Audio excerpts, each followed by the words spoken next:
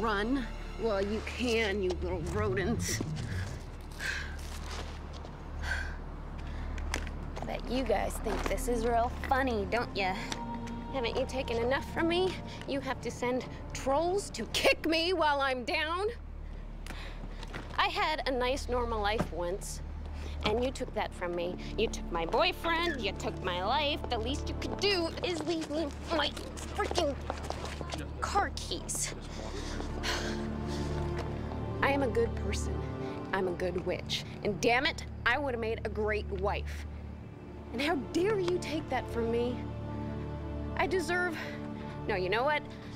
I demand that you send him back to me. You hear me?